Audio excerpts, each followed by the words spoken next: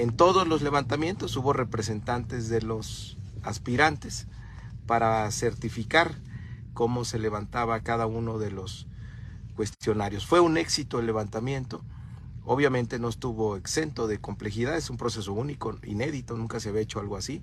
Es la empresa, es la encuesta más vigilada en la historia de nuestro país, porque lo que queremos es que se garantice el respeto a la voluntad del pueblo, de la gente, a decidir quién le va a dar continuidad al proceso histórico de transformación que ha detonado nuestro presidente Andrés Manuel López Obrador.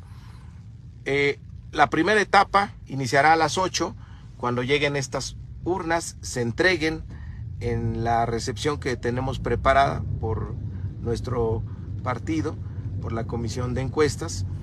Eh, se procederá a una primera inspección física por parte de los representantes de los aspirantes, es decir, que el paquete esté cerrado, que garantice la integridad eh, del mismo, que esté registrado y también se hará la separación por cada, cada, por cada en casa encuestadora.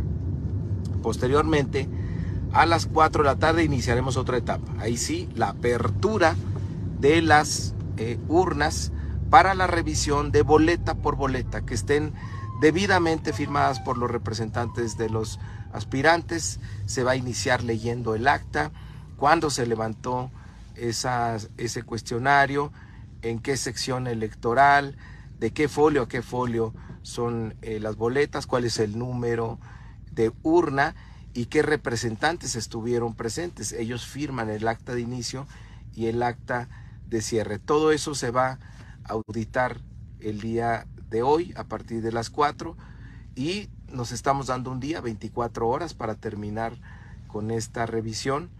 Y el gobernador Alfonso Durazo, presidente del Consejo Nacional, ya ha citado a la y los aspirantes para el miércoles 6 de septiembre, como lo estableció el Consejo Nacional, a las 5 de la tarde a los representantes, a los aspirantes, para darles a conocer el resultado y posteriormente hacerlo público.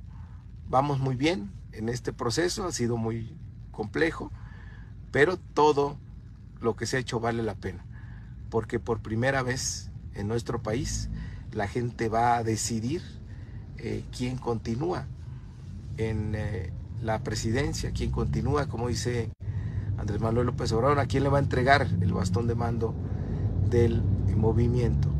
Y él renunció a la práctica del dedazo, porque es un demócrata y puso esta decisión, la más importante, en manos del